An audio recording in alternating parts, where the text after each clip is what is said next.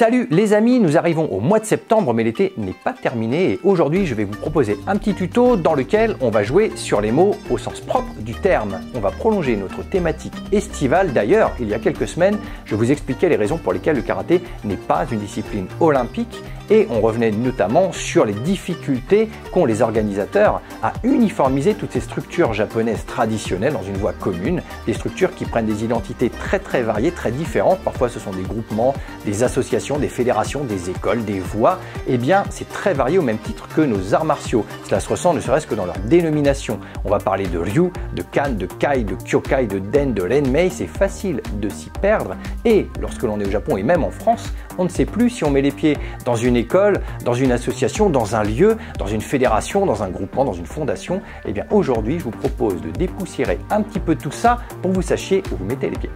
C'est parti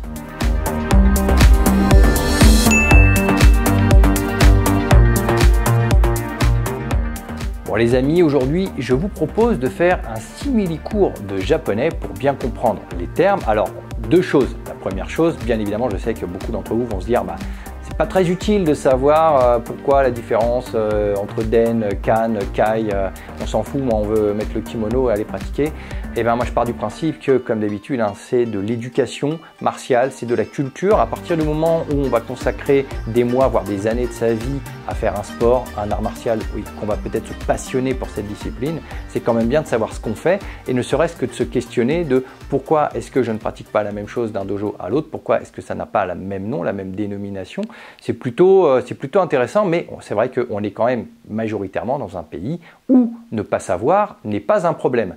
Donc on se complaît dans son ignorance sans forcément se poser la question ou essayer de se corriger ou essayer d'évoluer. C'est un peu le souci. J'invite donc tous les professeurs à toujours cultiver et questionner les élèves pour qu'eux-mêmes aillent aussi tenter de trouver les réponses. La deuxième chose, c'est que durant ce tuto, on va utiliser les terminologies japonaises, c'est-à-dire enfin plutôt la prononciation japonaise. Euh, lorsqu'on va parler de dan, on va pas dire dan. D'accord? On ne dit pas un dan, on dit un dan. On parle de gedan et non pas de gedan. On parle de shodan et pas de shodan. Et donc, on va parler de kan, de shoto kan et non pas de shoto kan. D'accord? On utilise les termes japonais. J'ai eu un des, anciens euh, sensei qui disait euh, pour le style, moi je fais du karat. Il disait même pas karaté. Le e n'existait pas, le karat. Ah non, on ne fait pas du karat, d'accord? On fait, euh, alors, à la française du karaté, à la japonaise du karaté, parce que le R se dit L au Japon comme Ryu, d'accord C'est pas Ryu, c'est Ryu. Mais euh, voilà, essayons de mettre un petit peu de culture aussi dans notre façon de nous exprimer. Si vous avez des élèves ou même des sensei qui n'utilisent pas les bons termes, n'hésitez pas à les remettre, euh, on va dire, gentiment euh, dans la bonne voie, parce que on ne fait pas tout et n'importe quoi, quitte à transmettre et enseigner quelque chose, autant essayer de le faire bien correctement. Alors, on va commencer. On ne va pas parler, très peu, du dos. Parce qu'effectivement, on fait du karaté do, du judo, de l'aïkido, du kendo. Mais ce do, j'ai déjà fait un tuto dessus. Ce n'est pas une école, ce n'est pas une appartenance à un style.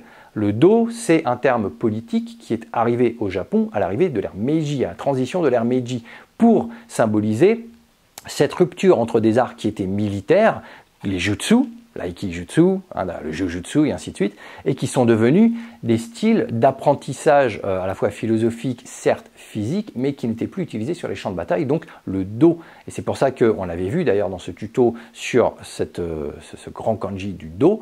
Euh, pourquoi est-ce que le karaté art budo s'est attribué une particule de karaté do lorsqu'il est arrivé au Japon?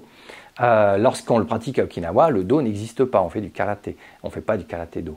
Alors on va commencer avec le terme le plus populaire du monde des arts martiaux, le terme Ryu. Ryu, c'est à la fois un terme que l'on va retrouver dans Shorin Ryu, Shito Ryu, Wado Ryu, Gojo Ryu, Uechi Ryu, enfin on l'a un petit peu partout, Shotokan Ryu, et on va le définir populairement comme étant l'école. L'école pas au sens euh, bâtiment architectural, mais l'école au sens voie d'enseignement. Littéralement, Ryu, c'est le courant. Donc ce n'est pas le style. Pour moi, ce serait très réducteur de le définir comme étant un style, parce qu'un style, ça veut dire que on ne se contente de ne voir que la forme. Visuellement, on pratique comme si, plus haut, plus bas, on a telle, telle philosophie dans son combat. Donc, on peut définir un style sur un instant T. Or, Ryu, ça représente un courant, et un courant, ça prend son essor à la fois à travers bah, les époques, C'est-à-dire qu'il y a une idée de progression à travers le temps, bien évidemment, mais aussi à travers l'histoire. L'histoire de sa discipline et son, son, héritage en fonction bah, des dirigeants, en fonction des sensei. On n'oublie pas qu'au Japon, les écoles, les ryu, en fait, depuis les arbushi, hein, euh, ne sont transmis que de deux façons, soit de maître à disciple, soit de père en fils, d'accord? Donc soit c'est une filiation euh, familiale, soit c'est une filiation euh, martiale de, maître à disciple. Donc Ryu prend tout son sens. Le courant, c'est aussi ça, c'est-à-dire le respect et l'enracinement dans les générations précédentes euh, de dirigeants de dojo, de sensei, de maîtres et de fondateurs et euh, dans les futurs qui arriveront. Donc ce choix très précis de faire, voilà, de faire poursuivre et vivre sa voie à travers ces, futurs pratiquants. Donc Ryu, c'est aussi ça, donc il ne faut pas l'oublier. Après, si on monte un petit peu au-dessus, on a l'encadrement, un petit peu administratif, c'est-à-dire qu'on va voir l'association. L'association au japonais, c'est Kai. Kai, on va l'avoir dans différents termes, comme l'Aiki Kai, donc l'association Aiki, au sein de laquelle on va faire de l'Aiki-Do. On va l'avoir aussi par exemple dans Shotokai, l'association de, de maître Egami, mais on va aussi l'avoir par exemple dans la Keio Mita Karatekai, parce que voilà la Karatekai, l'association de karaté de Mita, Mita Karatekai, c'est là où euh, se trouve un peu le siège administratif des dojos de Keio, parce qu'on est au campus de Mita, de Keio Mita, là où était ouvert le premier dojo de Maître Funakoshi. Donc voilà, la structure associative s'appelle Mita Karatekai. Alors à cette association, on peut associer un deuxième kanji, le terme Kyo, pour former Kyokai. Kyo, c'est la coopération, Kai, c'est l'association, donc ça veut dire qu'on a un, ensemble beaucoup plus profond et pas uniquement organisationnel dans termes de structure, puisqu'on a aussi une coopération de style et d'école martiale. C'est le cas de la JIKA qui au Japon s'appelle la Nihon Karate Kyokai, pour montrer qu'il y a quand même un accord entre les écoles, les styles et les voies et les courants. Euh, en marge de Kyokai, si on monte un petit peu, on va trouver une structure qui est beaucoup plus fédérale et organisationnelle. C'est le terme de la fédération. Et la fédération, ça se dit l'enmei. L'enmei, là, cette fois, on est beaucoup plus sur le côté ministériel, officialisé, euh, administrativement parlant. En marge de cela, un petit peu, on va dire, loin du côté purement, uniquement administratif, on a la fondation. Et la fondation, c'est assez intéressant, c'est le Zaidan Hoji. Zaidan Hoji, c'est composé de quatre kanji. On a le portefeuille, le groupe, la loi et l'homme. Donc c'est un peu le cercle des gentlemen. Et ce terme-là, Zaidan Hoji, on va le retrouver dans le nom complet de l'Aikikai la, structure associative qui renferme l'aïkido. Le nom japonais de l'aikikai, c'est la Zaidan Hojin Aikikai. D'accord? Donc on voit que c'est un terme aussi assez profond et qui, on, le verra tout à l'heure, prend beaucoup plus d'importance euh, dans, dans sa filiation historique. Alors ça, c'est pour les structures, véritablement administratives. D'accord? Ça parle de Kai, de Kyokai, de l'Enmei et de la Zaidan Hojin. Maintenant, en termes de lieux, on a Cannes, bien évidemment, que l'on va retrouver par exemple dans Budokan, le célèbre Budokan, le, temple, euh, on va dire, sportif en plein cœur de Tokyo, dans lequel, bien évidemment, il y a des concerts, mais surtout toutes les compétitions sportives se passent euh, au Budokan de Tokyo. On a également le très célèbre Kodokan, ouvert d'ailleurs par Maître Kano, même si maintenant il a déménagé, qu'il est à côté du Tokyo Dome, c'est le lieu d'entraînement et de compétition. C'est là que je vous avais entraîné d'ailleurs pour voir quelques compétitions de judo au sein même du Kodokan. Donc on a ce terme-là, Budokan, Kodokan, euh, Shotokan aussi, le lieu d'entraînement du karaté de maître Funakoshi, puisque n'oublions pas que Shoto, c'est le nom de poète, le, vent dans les pins, euh, que signait maître Funakoshi, donc c'est le lieu d'entraînement de maître Funakoshi.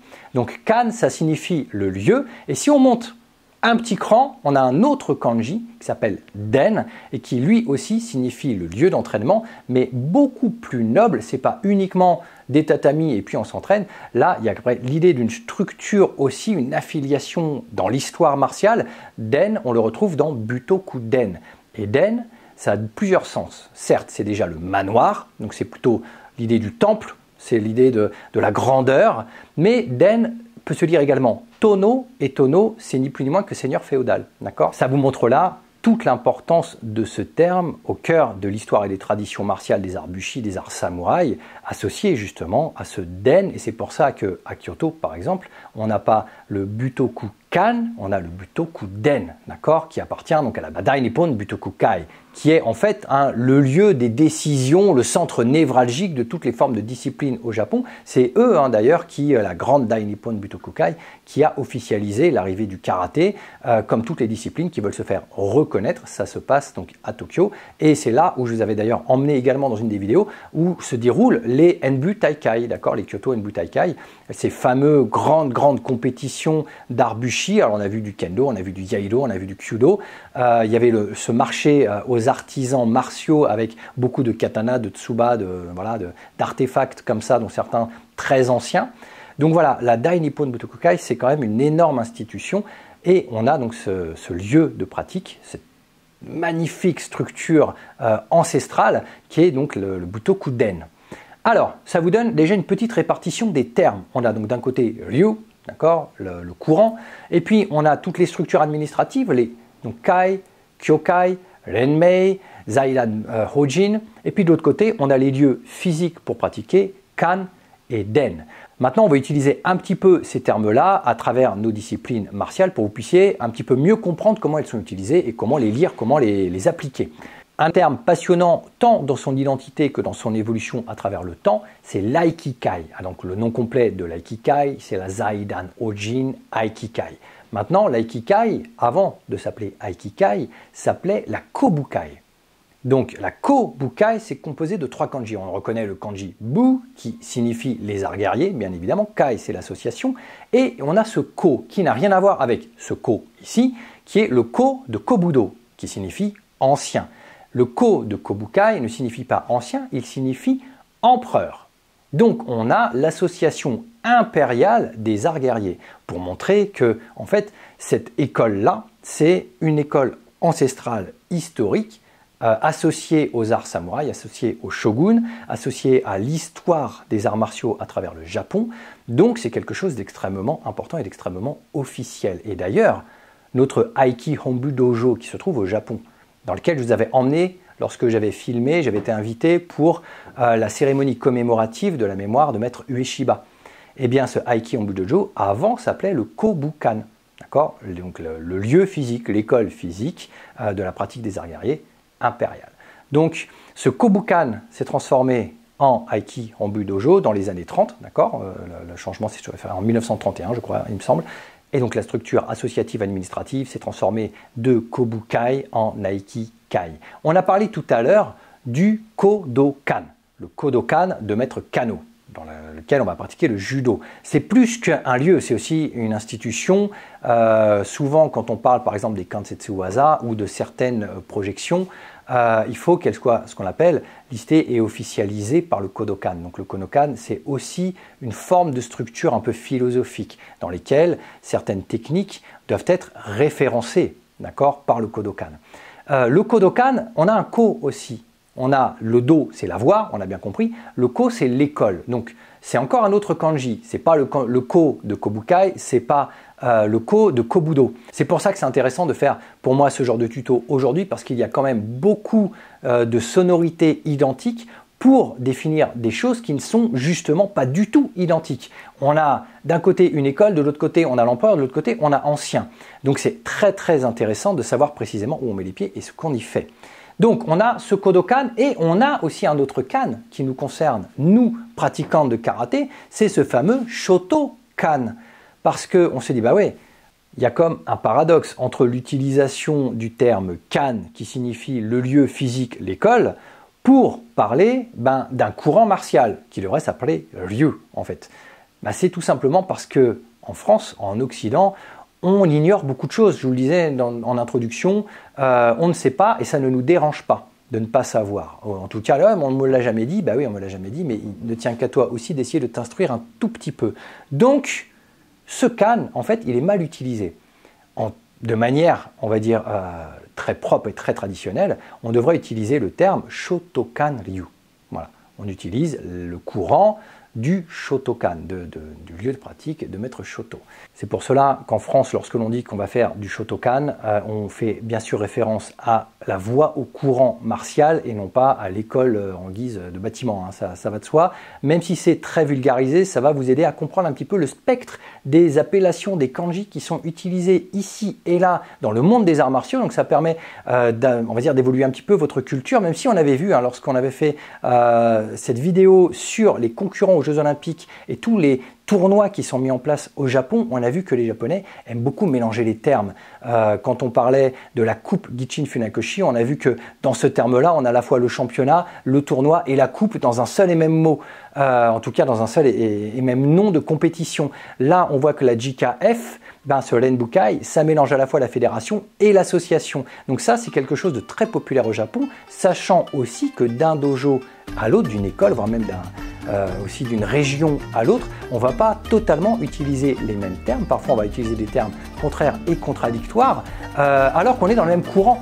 Euh, je me souviens de, j'ai beaucoup d'exemples des maîtres qui viennent en France et qui utilisent Uchiuke et Sotouke, mais contraire à ce que nous on fait. Ils vont utiliser Sotouke pour faire ça et Uchiuke pour faire ça. Ils sont plusieurs à le faire, mais c'est culturel, c'est japonais. Je me souviens d'avoir fait le cours avec Hiromi Ichiki et d'avoir fait pourtant en karaté Shotokan Ryu euh, des termes euh, que, que je connais très bien mais qui étaient appliqués sur d'autres techniques.